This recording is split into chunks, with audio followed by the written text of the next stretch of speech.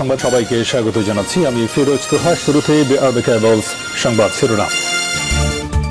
শুরুতে জানাব, এই মুহূর্তে হাতে পাওয়া সর্বশেষ গুরুত্বপূর্ণ সংবাদ। নাগরিক ঐক্যের সভাপতি মাহমুদুর রহমান মান্না বলেছেন, এ সরকারের বিরুদ্ধে আমরা লড়াই থামাচ্ছি না। আমাদের লড়াই চলবে, জনগণই একদিন বিজয়ী হবে।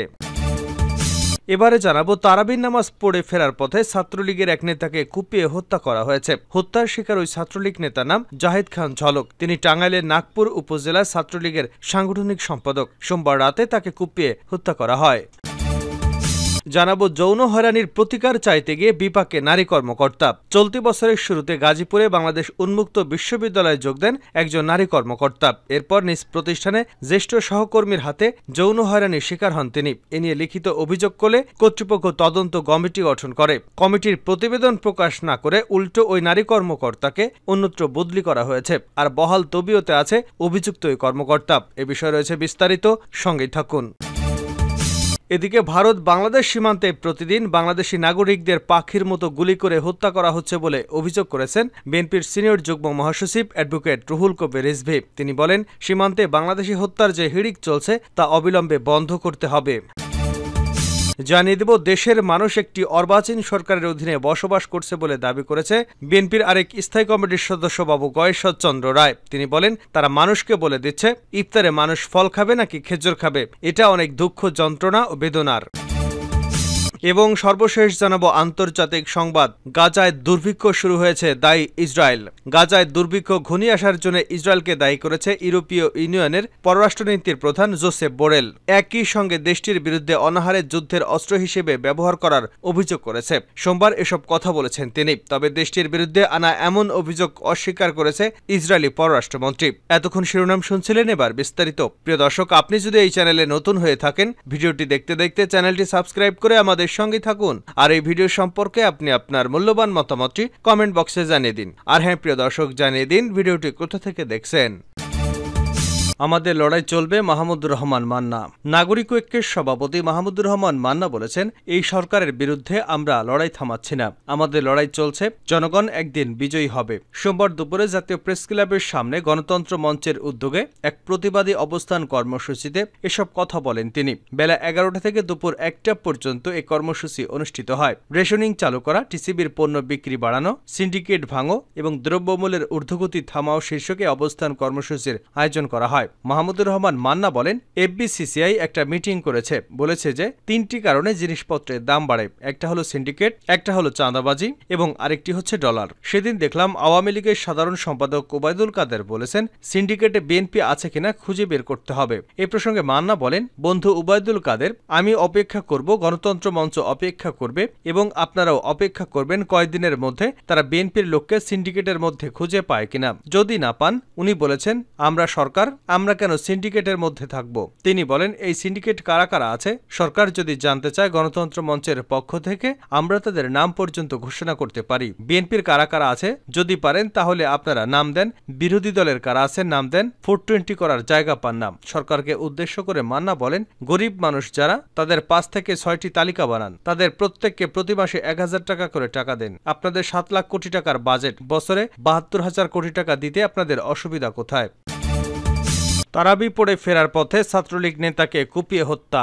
তারাবি পড়ে ফেরার পথে ছাত্রলীগের এক নেতাকে কুপিয়ে হত্যা করা হয়েছে। হত্যার শিকার ওই ছাত্রলীগ নেতার নাম জাহিদ খান ঝলক। তিনি টাঙ্গাইলের নাগরপুর উপজেলা ছাত্রলীগের সাংগঠনিক সম্পাদক। সোমবার রাতে তাকে কুপিয়ে হত্যা করা হয়। ঝলক উপজেলার সলিমবাদ ইউনিয়নের সলিমবাদ গ্রামের শামিনুর খানের ছেলে। তাকে ওই গ্রামেই কুপিয়ে হত্যা করা হয়েছে। স্থানীয় সূত্রে জানা যায় তারাবির নামাজ পড়ার জন্য জাহিদ বাড়ির পাশের মসজিদে যায়। পরে অর্ধেক নামাজ পড়ে বাড়ি ফিরছিলেন তিনি। এ সময় পথিমধ্যে দুর্বৃত্তরা তাকে কুপিয়ে হত্যা করে।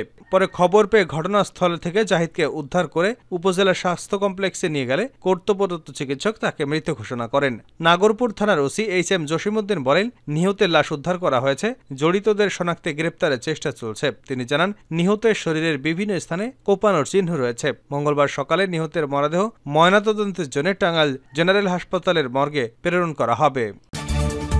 যৌন হয়রানির প্রতিকার চাইতে গিয়ে বিপাকে নারী কর্মকর্তা। চলতি বছরের শুরুতে গাজীপুরের বাংলাদেশ উন্মুক্ত বিশ্ববিদ্যালয়ে যোগ দেন এক নারী কর্মকর্তা। এরপর নিজ প্রতিষ্ঠানের জ্যেষ্ঠ সহকর্মীর হাতে যৌন হয়রানির শিকার হন তিনি। এ নিয়ে লিখিত অভিযোগ করলে কর্তৃপক্ষ তদন্ত কমিটি গঠন করে। কমিটির প্রতিবেদন প্রকাশ না করে উল্টো ওই নারী কর্মকর্তাকে অন্যত্র বদলি করা হয়েছে। আর বহাল তবিয়তে আছে অভিযুক্ত ওই কর্মকর্তা। ছয় মার্চ, বাউবি রেজিস্ট্রার ডক্টর মোহাম্মদ মশিউল আলম স্বাক্ষরিত এ সংক্রান্ত অফিস আদেশে বলা হয় পুনরাদেশ না দেওয়া পর্যন্ত বিশ্ববিদ্যালয়ের কাজের স্বার্থে বাংলাদেশ উন্মুক্ত বিশ্ববিদ্যালয় প্রশাসনিক কর্মকর্তা পরীক্ষায় ফারহানা আক্তার, সন্তনাম, তার বর্তমান কর্মস্থল বিশ্ববিদ্যালয়ের পরীক্ষা বিভাগ থেকে নারায়ণগঞ্জ উপ আঞ্চলিক কেন্দ্রে বদলি করা হলো। অন্যদিকে যৌন হয়রানি এই ঘটনায় অভিযুক্ত ওই কর্মকর্তার নাম মুজিবুল হক। তিনি বর্তমানে বিশ্ববিদ্যালয়ের উপপরীক্ষা নিয়ন্ত্রক হিসেবে দায়িত্ব পালন করছেন। এর আগে পঁচিশে জানুয়ারি ঘটনার প্রতিকার চেয়ে বিশ্ববিদ্যালয় উপাচার্য এবং নারী নির্যাতন সেল সহ সংশ্লিষ্টদের কাছে লিখিত অভিযোগ দিয়েছেন ভুক্তভোগী। এরপর বিশ্ববিদ্যালয় উপাচার্য অধ্যাপক ডক্টর মাহবুবা নাসরিনকে প্রধান করে আরেকটি তদন্ত কমিটি গঠন করে বিশ্ববিদ্যালয় কর্তৃপক্ষ। কমিটিকে দ্রুত তদন্ত প্রতিবেদন জমা দিতে বলা হয়েছিল, তবে তদন্ত প্রতিবেদন এখনও প্রকাশ করেনি কর্তৃপক্ষ। লিখিত অভিযোগপত্রে ও নারী কর্মকর্তা চলতি বছরের পনেরোই জানুয়ারিতে বিশ্ববিদ্যালয়ে যোগদানের পর থেকেই তার অনুমতি ছাড়া দায়িত্ব পালনকালীন তার শরীর স্পর্শ, গায়ে পিঠে হাত দেওয়া, যৌন হয়রানিমূলক আচরণ, অশালীন কথাবার্তা, চরিত্র হরণের উদ্দেশ্যে অনলাইন অপপ্রচার চালানো, ইঙ্গিতমূলক মেসেজ দেওয়া সহ বেশ কিছু বিষয়ে অভিযোগ জানান। এদিকে ভিকটিম বদলি তার জন্য এক ধরনের শাস্তি উল্লেখ করে বলেন, তিনি সপরিবারে ঢাকায় থাকেন। হুট করে বদলি করাতে তাকে এখন ঢাকা থেকে নারায়ণগঞ্জে গিয়ে অফিস করে বাসায় ফিরতে হচ্ছে। নারী হয় তার জন্য সেখানে প্রতিনিয়ত এভাবে যাতায়াত অনিরাপদ হয়ে উঠেছে আর যার বিরুদ্ধে অভিযোগ, তিনি বহাল তবিয়তে আছেন। জানা যায়, অভিযুক্ত কর্মকর্তা গাজীপুর স্থানীয় বাসিন্দা এবং বিশ্ববিদ্যালয়ের বর্তমান রেজিস্ট্রার ডক্টর শফিকুল আলমের আশীর্বাদ পুষ্ট। এছাড়াও এর আগেও তার এ ধরনের কর্মকাণ্ডে বিশ্ববিদ্যালয়ের আরেক নারী কর্মকর্তা বদলি নিয়ে উত্তরাঞ্চলের বিভাগীয় কার্যালয়ে চলে যেতে বাধ্য হয়েছেন, কিন্তু তখনও তার বিরুদ্ধে কোনো ব্যবস্থা গ্রহণ করা হয়নি। নারী কর্মকর্তার অভিযোগের বিষয় জানতে চাইলে বাউবি উপাচার্য অধ্যাপক ডক্টর সৈয়দ হুমায়ুন আক্তার বলেন, এ বিষয়ে তদন্ত প্রতিবেদন আমাদের হাতে এসেছে। আমরা ব্যবস্থা গ্রহণ করেছি। ভুক্তভোগী ওই নারী কর্মকর্তার বদলির বিষয়ে তিনি বলেন, নিয়োগ বিজ্ঞপ্তি অনুযায়ী ওই নারী কর্মকর্তাকে তার পদে দায়িত্ব প্রদান করা হয়েছে। তদন্ত প্রতিবেদনের সুপারিশ সম্পর্কে জানতে চাইলে তিনি প্রতিবেদকের সঙ্গে অসৌজন্য আচরণ করেন। বলেন কি উদ্দেশ্যে ফোন দিয়েছেন?